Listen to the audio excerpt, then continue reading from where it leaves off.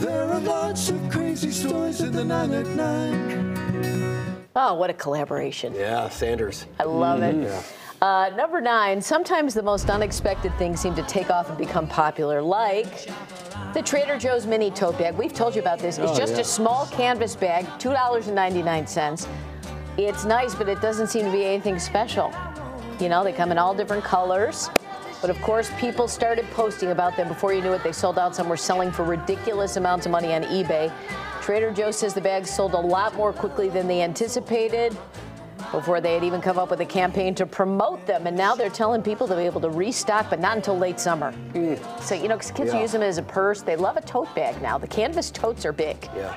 You know, and when you get that perfect size one, I guess, Paul, you know, Yeah, I do. you can fit all Yeah. your makeup and everything in Yeah. there and A perfect, yes. Yeah. Is it is it just that they're in high demand and and that's why I- Someone must wants have one? posted about it on TikTok, and so everyone wants to hit. It's like those Stanley cups, you know, Right. they're just a, you know, A Yeah. fad. a fad.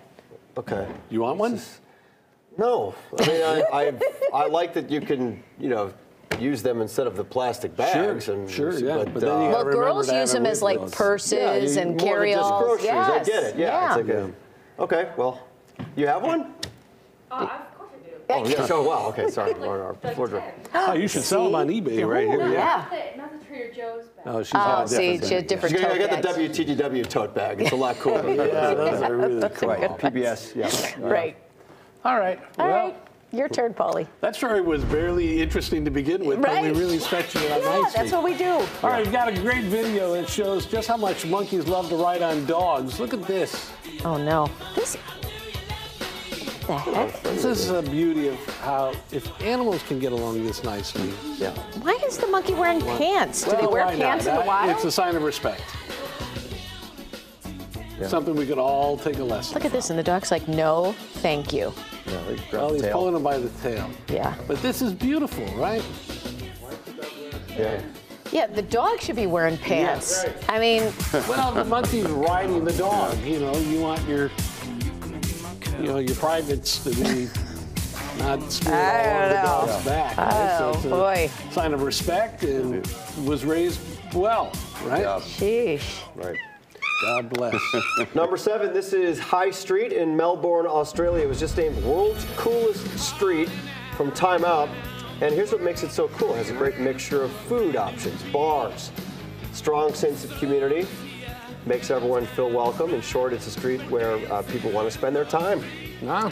Uh, other streets this year include uh, 18th Street here in Pilsen. That's a beautiful street. If you've ever uh, walked up and down there, gorgeous street.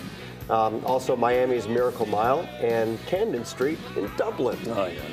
You always wonder if it's just one person's opinion who's sitting Yeah. at a computer Yeah. going, I've been here, what's the that'll be number Yeah, one. I You never know. it is. All right, number six, here's something cool coming to Wrigley Field in May. Not Cubs baseball, this is Upper Deck Golfing. Check this out. A company partnered with iconic sports stadiums across the country, and they set up a tee like at a driving range on the upper deck of the stadium so you can hit your ball down onto the field at certain targets with different games and challenges Nice. mixed in. You can also eat and drink while you do it, which adds a little extra Yeah. of difficulty to Yeah. it. This is going to be happening at Wrigley Field the weekend of May 10th through the 12th when the Cubs are playing in Pittsburgh. You can go to Upper Deck Golfing for prices and details. That's kind of cool. Oh, yeah. Number five, people are searching for all sorts of ways to relax these days. Here is a new option a CBD sound bath. Ooh. It involves a massage infused with CBD oil to start. All right. The oil is designed to alleviate inflam- inflammation, All right. reduce pain, help the skin. It's often infused with things like ginger or black pepper. And while someone is kneading away your tired muscles, someone else is conducting a sound bath. What's a sound bath? Well, a sound bath is meant to provide a sense of relaxation, improve the mood, and release tension through sound. So But not everyone finds it uh, comfortable. In fact, some clients claim the sounds are anything but calming. Yeah. It would seem like sound is very subjective, right? Like someone, Well, you hate all music. uh, yeah, so yeah, don't play music when I'm in Right. there, but maybe you got someone tap dancing in the corner. You love that. Or, Yeah. yeah. or someone breaking glasses. sound is sound, right? Yeah, you're right. Someone chewing, just chewing Yeah, in your ear, It doesn't have to be music. Could you imagine? for- smacking in your ear. That'd be really calming. How's your massage, Mr. yeah, Conrad? someone's talking. Yeah. A sound bath. That sounds dumb. Alrighty. Uh, all right, number four. Uh, if you watch the Oscars, you might have noticed the old brooch trend. Even the men were all over it. The Irish guy, Cillian Murphy, he had a bejeweled lapel. Oh, Michael I B. didn't Jordan showed off a few Tiffany brooches. John Kazarinsky rocked a dazzling little brooch with his white tuxedo. Yeah. Billie Eilish's brother, Phineas, always a fashion forward, uh, wore another cool brooch on the red carpet. So, how do the regular guys do it? They don't. but if you're going to jump into that end of the pool, you're going to want to go simple at first. Try pinning a fun little silver piece to your jacket or try out the uh, next uh, wedding you're at and just put on a little brooch. Ask your mom or your granny if she's got one laying around that you could try out. Uh, and more about uh, the man who is, uh, it tells you more about who you are and the inspiration that you bring to other people. So typically, I think you want to contact Granny and say, hey, Granny, do you got a brooch? Yeah. And then if you've got the courage to have that conversation with her, then you probably can wear it. And if she's no longer with you, you can wear it in her honor. Yeah. Yeah. And uh, if anyone criticizes you, say, hey, look, I'm remembering Yeah. my grandmother. Oh, look at you guys are in off. suit coats there. Why don't you brooch it up out here? Just a little lapel It's- brooch.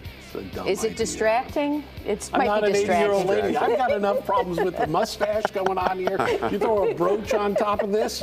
Gonna It's too much beauty. I'll be escorted to the insane asylum. My wife is already, I can tell she's searching, you know, For new men? psychiatrists and how to commit someone, you know, to an insane now, asylum. why is that? Because the mustache? She she's coming true. Now that she's learned the English language, the wheels are off. now, for I notice us. you're letting the beard grow in. Yeah. I don't Is know it just I'm doing. 'cause you I guess can't- am too tired to shave.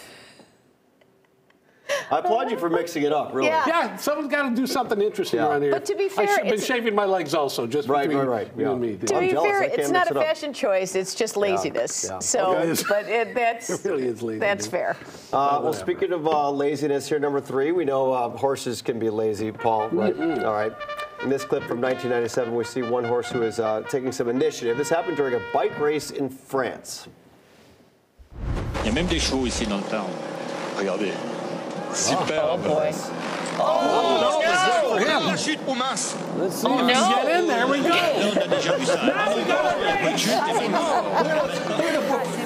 Finally. Come on, buddy. Wait, is this real?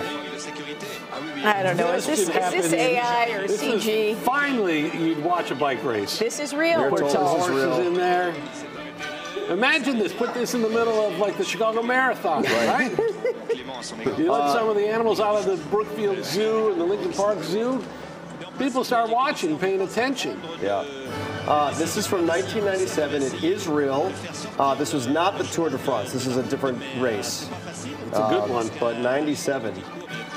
Bring some animals. Let's Look at 'em especially go. horses. They're not doing anything anyhow. All of them standing around. You say we can bring them out to a Bears game, right? Yeah. Say, listen, you guys stay on this half of the field, but you just be ready to go. Yeah. Oh, I wonder if the horse is setting the pace or slowing down the bike Yeah, riders exactly. there. Eh, That is awesome. That's That awesome. cool. I enjoyed that. All right, number two, coming up uh, later this hour, uh, we're talking to the author of a new book about the Blues Brothers. You got us into this parking lot, pal. Now you get us out. You want out of this parking lot? Okay. Would there be anything else? Yes, do you have a Miss Piggy?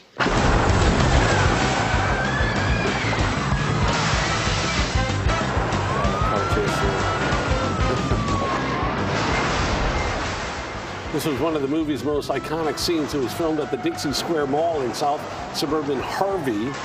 The mall was only 13 years old at the time, but a spike in crime forced it to close before uh, director John Landis uh, dressed it all up, only to destroy it. Interesting. The former site is believed to be owned by the city of Harvey, but they have yet to sell it to developers. Oh boy. All right, number one, Thursday was March 14th. That's 314 or Pi Day. So, mm-hmm. how about we show you the scene from the largest pie fight ever filmed? Sure. The movie is The Great Race from 1965, starred Tony Curtis, Natalie Wood, Jack Lemmon. Here it is.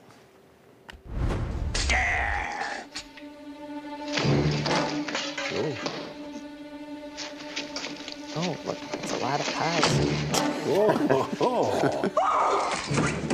Mr. Bois, Uh-oh. Mr. Bois, Please! Oh, oh dear.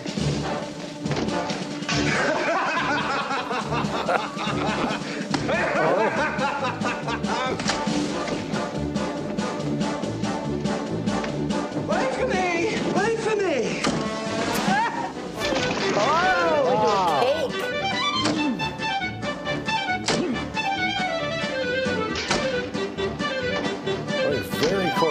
Yeah. I mean, just all these pies just sitting around unrefrigerated. Yeah. That can't be safe. It's getting interesting though. Your Majesty? Hi there.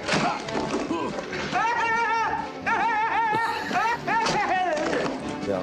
Well, You got a pretty good aim, right? yeah. brandy! Throw more brandy! Throw brandy! Well, there we go. Biggest pie, 256 pies were used. That scene alone cost $200,000 to shoot. Wow. 18,000 of the money was spent on pies. Well, it seems Eighteen like thousand dollars for two hundred pies? That can't be right. Oh, jeez. uh, couldn't you just use the old shaving cream pie like Right. they did it? I mean, it seems like you really blew the budget. Well, maybe. You know what? Details. Yeah, we're not not good at those. but you get the idea. Hmm. There we go. oh boy. Oh no. Fire.